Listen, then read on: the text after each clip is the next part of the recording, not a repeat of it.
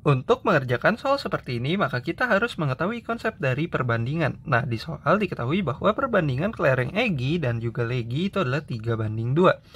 Nah, kemudian diketahui juga bahwa selisih kelereng mereka adalah 8.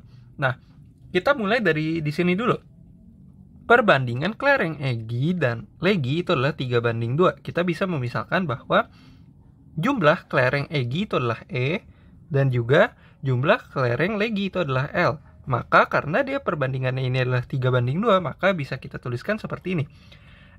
E per L itu sama dengan 3 banding 2, maka di sini kita tuliskan 3 per 2.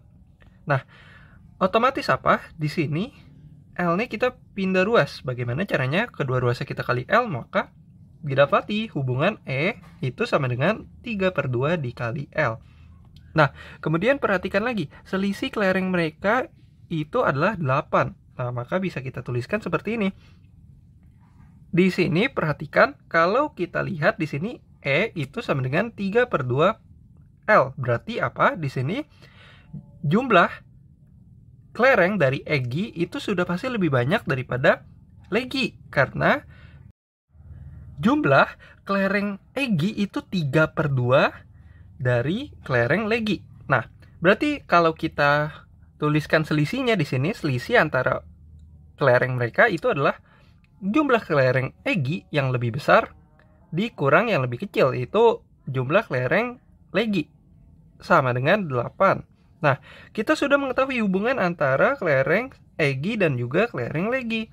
Kelereng Egi itu sama dengan 3 per 2 dari kelereng Legi. Berarti 3 per 2 L dikurang L itu sama dengan 8. Di sini E-nya kita substitusikan dengan 3 per 2 L.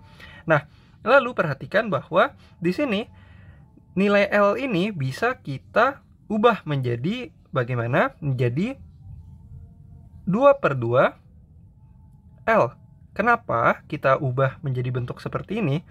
Nah, karena perhatikan bahwa ini bentuknya pecahan penyebutnya itu adalah dua maka di sini kita harus membuat penyebutnya sama nah oleh karena itu kita tinggal kurangi saja pembilangnya di sini.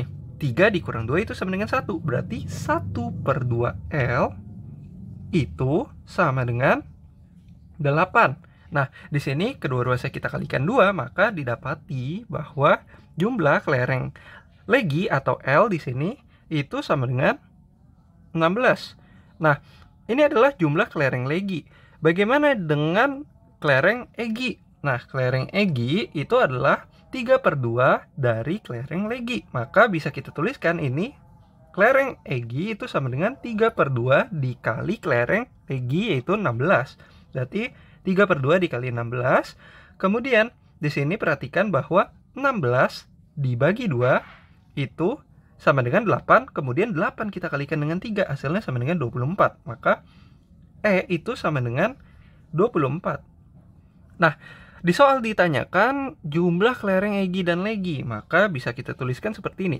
E ditambah L, kelereng Egi ditambah kelereng Legi itu sama dengan 24 ditambah 16. Hasilnya sama dengan berapa? Sama dengan 40. Maka opsi yang tepat itu adalah yang A. Sekian pembahasan kali ini, sampai jumpa di pembahasan selanjutnya.